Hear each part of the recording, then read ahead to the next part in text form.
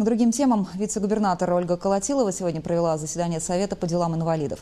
Одной из тем обсуждения стало трудоустройство людей с ограниченными возможностями здоровья. Бюджетным организациям в этом смысле еще есть куда стремиться.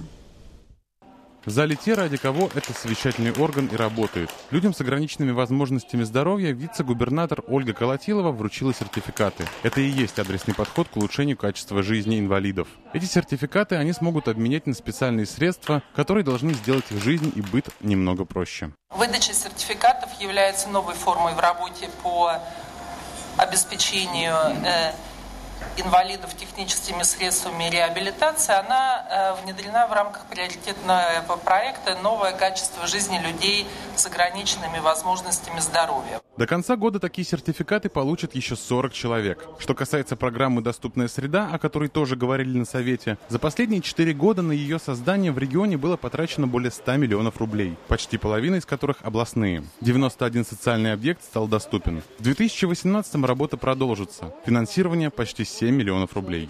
На эти средства предполагается адаптировать 9 приоритетных объектов, а также продолжить реализацию ежегодных мероприятий, таких как транспортное обслуживание инвалидов, это служба социальное такси, обеспечение инвалидов средствами ухода и быта, прокат технических средств реабилитации, субтитрование новостных выпусков на областном телевидении. Особое внимание в регионе – занятости инвалидов. Из года в год удается найти работу все большему числу людей с ограниченными возможностями здоровья. Речь, правда, идет лишь о тех, кто обратился за помощью в службу занятости. В будущем, решили на заседании Совета, бюджетным организациям и акционерным обществам с государственным капиталом стоит уделить большее внимание созданию рабочих мест для инвалидов.